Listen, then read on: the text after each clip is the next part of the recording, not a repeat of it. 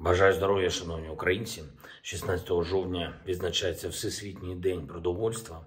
Цей день встановлений в пам'ять про заснування спецструктури ООН, що займається боротьбою з бідністю і голодом. ФАО це продовольча і сільськогосподарська організація ООН. Десятиліттями світ працював, щоб вирішити проблему, проблему голоду. І навряд чи хтось із засновників Організації Об'єднаних Націй міг би подумати свого часу, що у 21 столітті ми будемо всі у світі знов змушені боротися із загрозою масового голоду, причому штучного голоду, голоду, за який відповідальна лише одна держава в світі це Росія та її терористична війна проти вільного світу. Коли Росія заблокувала наші українські порти і зламала нормальні ланцюжки постачання продовольства, вона повернула весь світ в ситуацію, ніби й не було цих десятиліть міжнародної роботи для продовольчої безпеки. На щастя, українські порти знов запрацювали. Запрацювали на експорт агропродукції. Від липня ми постачаємо саме той обсяг продовольства, який повертає світовому ринку стабільність. Причому саме тим сегментам продовольчого ринку, які забезпечують споживання деяких найбільш крихких країн Африки та Азії. І хоча наші експортні можливості ще далеко не повні, все ж ми змогли експортувати майже 8 мільйонів тонн продовольства морським шляхом. Це більше 300 суден. 60% цього обсягу було направлено в Африку і Азію. Це глобальна місія нашої країни.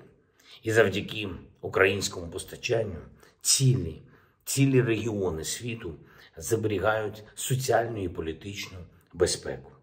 Я хочу подякувати усім, хто це забезпечує, нашим аграріям, перш за все, нашим транспортникам, нашим працівникам портів, нашим дипломатам і урядовцям, звичайно, нашим оборонцям, оборонцям країни, які тримають південь і повертають безпеку на море.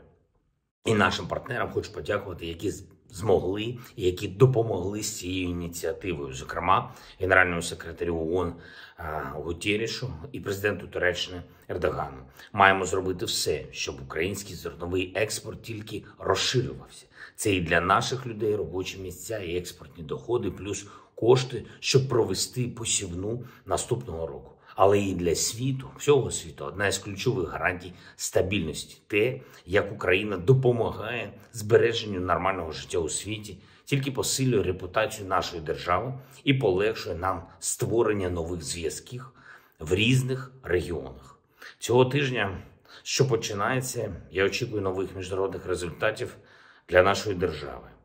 А за тиждень, що минає, варто відзначити посилення контактів із Саудівською Аравією є вагомі домовленості. Серед іншого, це і рішення партнерів надати пакет гуманітарної підтримки обсягом 400 мільйонів доларів.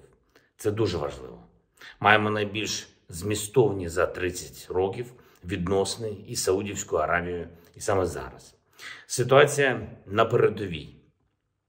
За минулу добу суттєвих змін не зазнали. Ключові гарячі точки на Донбасі Солидар і Бахмут там тривають дуже важкі бої. Проте наші сили окупанти кинули всіх, кого могли. Зокрема, і дві тисячі зеків. Вони серед найманців саме там. І це зеки з великими строками покарання за тяжкі злочини. Їх на фронті утримують не лише грошима, а й обіцянкою амністії. Ось так російська держава спонсорує терор, шукає по тюрмах вбивць і обіцяє їм свободу, якщо вони вбиватимуть знову. Хтось у світі ще сумнівається, чи варто офіційно визнавати Росію державою терористом. Навряд чи.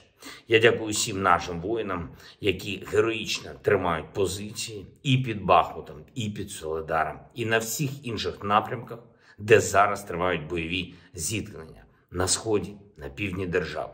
Особливо хочу сьогодні відзначити на південному напрямку 60-ту Інгулецьку піхотну бригаду, 17-ту окрему танкову Криворізьку бригаду імені Костянтина Пестушка, 128-му окрему гірсько-штурмову Закарпатську бригаду і 59-ту окрему мотопіхотну бригаду імені Якова Гандзюка за злагоджені дії на Херсонському напрямку і результативне знищення ворожої техніки. Я дякую вам, воїни. Я дякую і Херсонській зенітній ракетній бригаді за успішний захист нашого неба від іранських дронів і російської авіації. Окремо я хочу відзначити сьогодні ті підрозділи, які забезпечили нам результат в поповненні обмінного фонду.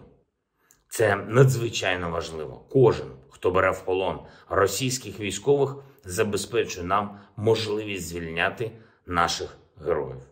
Я дякую 54-му окремому розвідувальному батальйону імені Михайла Тиші, 80-й окремій десантно-штурмовій бригаді і 92-й окремій механізованій бригаді, які в ході наступальних дій суттєво збільшили нашу можливість повертати українців додому.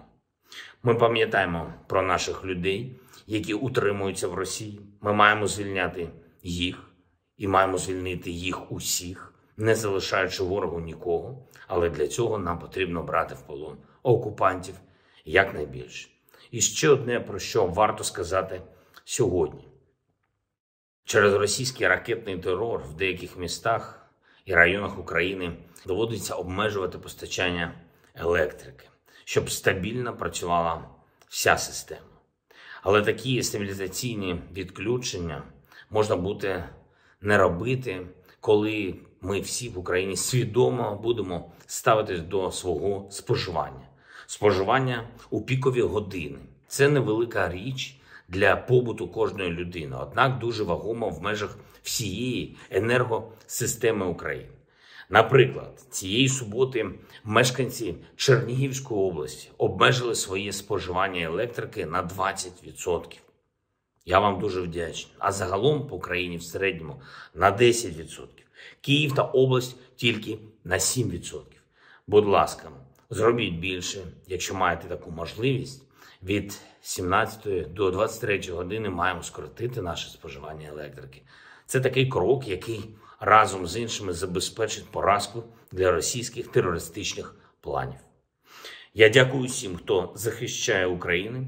Я дякую кожному і кожній, хто воює, працює, допомагає заради нашої перемоги у єдності і у спільних діях.